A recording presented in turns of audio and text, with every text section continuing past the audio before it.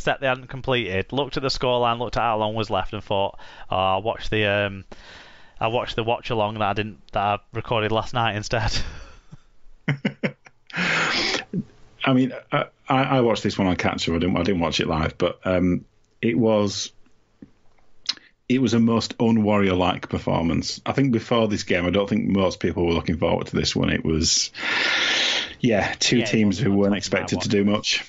Um, but the Warriors were, as 43 completed sets in a row says, were unbelievably disciplined, um, which is not what you expect from them whatsoever. Um, yeah, for, just think of that 43 sets without making a mistake. That's that's insane. No drops, no anything. And that's a lot Um, of sets, and we did see some lopsided set counts, didn't we? This Yes. this. Oh yeah, a lot of them were six six to go ones, but Yeah. It's still a completion, Oh yeah, same as the try is. Um, So yeah, it, yeah, it was you know it was a stat that was definitely benefited by the new rule, but you know Warriors don't don't you know keep hold of the ball like that. No. they just don't do that. no, And the other thing they don't do is nil teams, but they've done that. They did that. Um, uh, they did that at the weekend, and uh, oh, they have to get a lot of credit. You know, they are the team that's making the greatest sacrifice. They they should be everyone's second team. Yeah, if you believe in if you believe in such a thing. Um, but on the flip side of that, the Dragons they look worse than the Titans, and that's flipping saying something. Um, just completely co- no confidence at halfback for me. Um, they they didn't look like you know they didn't have any kind of cutting edge um, in attack. The Dragons, very prosaic, very pedestrian, and it, it didn't look like they'd be you know it didn't look like they'd score if they were still playing now. So it's no surprise they got nailed. fair enough. Not good for the Dragons then.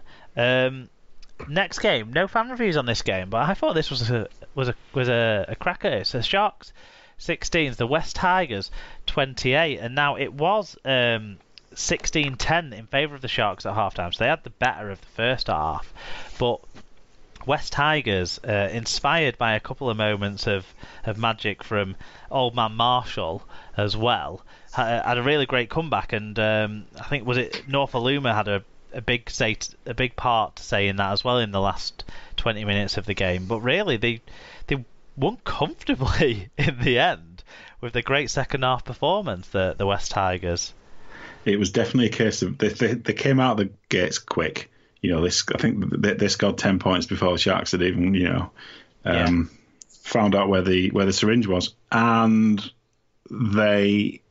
But then they, as is typical of the Tigers, they kind of they fell out of the game and they started to lose the arm wrestle, and the Sharks do what the Sharks did and, and got back ahead. But it was encouraging for, for West that they actually did come back and and and did it in the end and, and came out with a win. Yeah, it was a it was a an impressive performance against a a, a, tip, a you know a difficult opponent in the Sharks. Yeah, I don't really like watching the Sharks play. Um, No, the, the, the, they're a ter- terrible viewing experience. hasn't even changed that because he's just a mistake waiting to happen. But um, but yeah, No, the, the only thing I have to say about the Sharks that, that in the, in their positive because because I too I can't stand them. You know, Josh Dugan and, and, and all and, and all that kind of stuff. Uh, Wade Graham was brilliant in this game for them. Um, he's a fantastic player, is Wade Graham. Um, and but, you know, he, he really sparked their, their comeback. and doesn't look like he should be good, does he? Do you know what I mean? He, he looks a bit tubby. Like if I was going to say any player looked like he was overweight coming out of lockdown, it'd be Wade Graham. But he looked like that before, and he was still good anyway. It just, it doesn't look like an athlete, but he's got a lot of natural ability to to play this game. Um, but yeah, w- well done to the Tigers. Deserved win for Michael Maguire's men. Um, the next game was the big game, the main event. I'm surprised we didn't get more fan views on this one, to be honest, as well, because it was the one with most of our British players on display.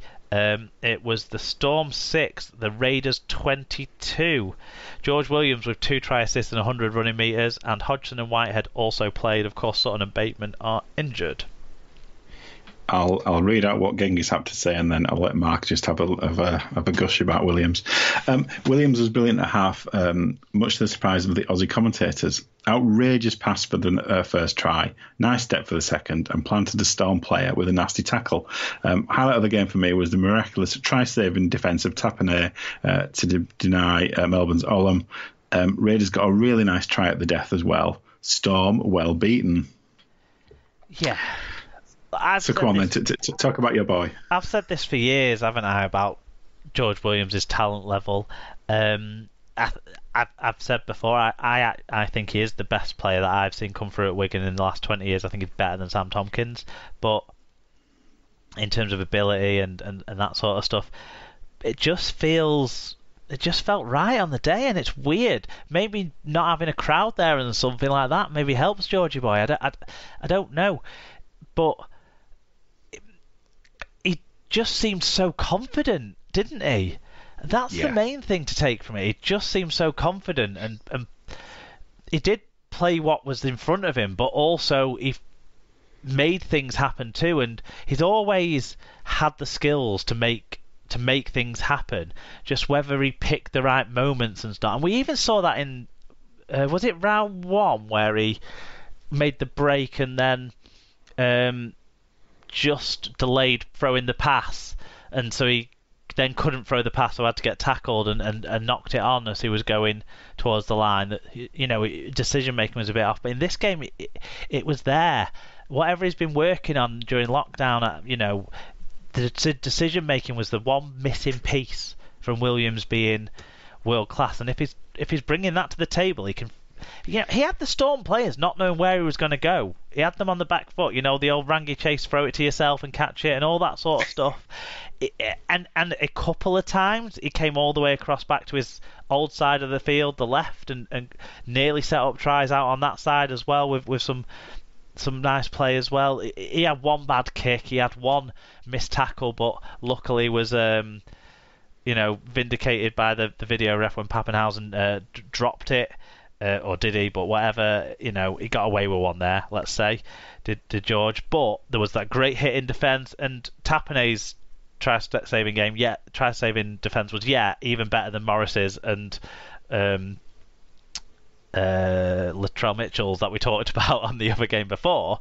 But let's not forget, George had one of them too, where he came and hit the guy's arm as he was reaching out to, to put it down and, and forced it loose. So he even hmm. saved a try as well. He he was he was outstanding in this match. He really yeah, was. He, he had he, yeah. I mean, and he he really did have a great game. It's it's not just your um um tinted glasses. Um, no, he he was really good. But I thought I thought the Raiders were. They've been, they've got something been, over the storm. Wouldn't it have been great? I know, like Tapine deserved it because of his defensive effort as well. But wouldn't it have been great if that ball just bounced for George at the end as well to finish it off? with a try too. That that would have been great, but but yeah. Sorry, I don't even know what you said. I'm still thinking about how good George Williams was. well, yeah. I mean, the, the the the pass for the first try out wide was absolute world class. Yeah, and that's a, one of the best passes you'll see all year. A left to right pass as well. Yeah, exactly. Uh, no, no one got in touch on the next one, but um, uh, did, was I there anything it. else more to say on on this one? Did we think the Storm were were the Storm out of sorts, or was it just that scramble by Raiders made it so so much harder for them to? Because they did have a few, they did have a good number of breaks the Storm, didn't they? But the Raiders always covered them up, and the Raiders' defense reminded me of like Wigan 2016 when it felt like people just got to a point where they couldn't score against us anymore it felt like Storm were a little bit off their best. Yeah, they were. But was that but the Raiders, the Raiders, were very good. The Raiders forced them into it. Oh yeah, I mean Storm would have beaten probably you know 12, 12 of the other teams in the NRL on um, whatever day this was. Yeah. Uh, I, st- I still think maybe some of the more mobile sides have got the benefit at the moment, whilst people are still getting to fitness. If you've got some mobility and speed, and with two of the best running halves in the competition in Wighton and Williams, you've got some of that. Uh, haven't you? Which which does help. Whereas Storm have got massive forwards, haven't they? You know, Nelson Asofa-Solomona and Jesse Bromwich are two of the tallest players going.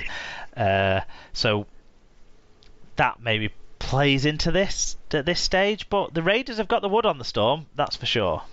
Yeah, certainly have. Next one. Yeah, why did no one get in touch on this one? It was the Panthers no 14, idea. the Knights thought 14.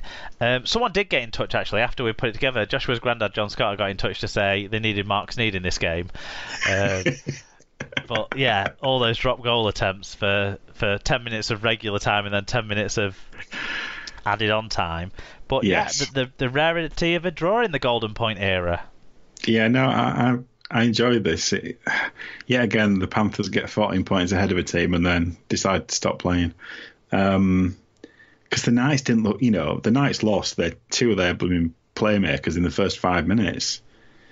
Uh, Mitchell Pearce went off, um, and the other guy whose name slips my mind went off as well.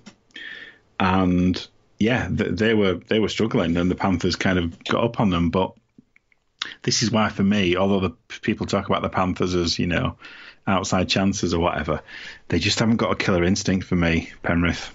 They just never seem to be able to kill teams off. So for me, that that they'll never they'll never win anything while they haven't got that instinct to um, to beat a team like the Knights, who are you know at the end of the day are, are probably mid-table. You would expect.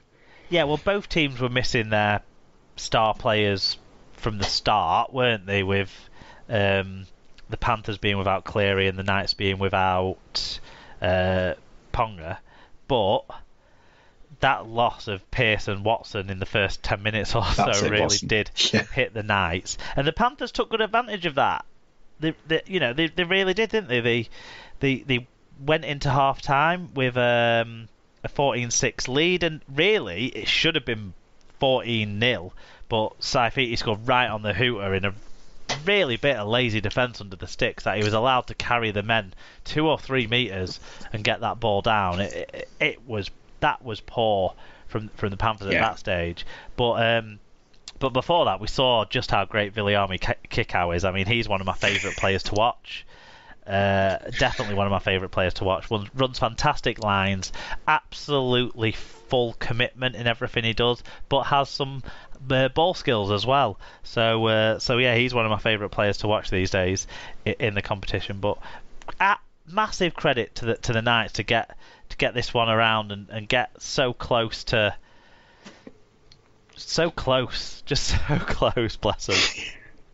Yeah, but uh, uh, as um, as um, John rightly said, you know, the lack of a first choice kind of at halfback, and, and certainly somebody with an ability to kick a a one pointer um, cost them both because they were they were getting a bit desperate towards the end. But yeah, it's one of Yeah, those I mean, games how where many a point times probably did- right. How many times did Burton connect with it absolutely sweetly? So he thought, and it just just maybe connected too well as it hooked a little bit at the end. I hit the post, Yeah. hit the post as well, didn't he? Yeah. Just wasn't to be. No, it wasn't.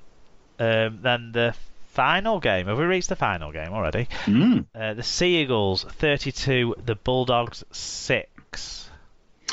And Lee Whitnell, um, he doesn't say whether he watched this on silent or not, but um, we'll leave that to your imagination. Um, so it looked like men against boys in this match. Uh, Manly charitably missed most of their kicks to try to make a game of it, but the dogs weren't up to it. Uh, they need more than Luke Thompson on the evidence of this one. And Alan Walker said, reckon the Manly side uh, all spent ISO in the Trbojevic house for two months. They looked like a side that had spent every day part playing backyard footy eyes up. Some of the passing was spectacular. Doggies are lucky that the Titans and Dragons will fight for the spoon.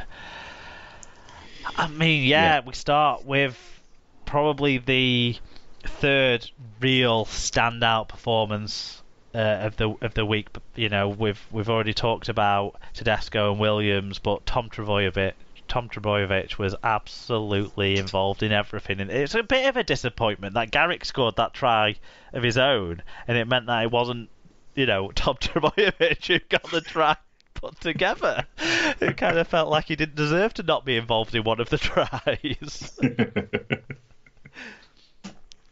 no, but he's um, yeah, you know, he he was a player that they were talking about how good form he was early on. Um, all those all those weeks ago, and he's he's definitely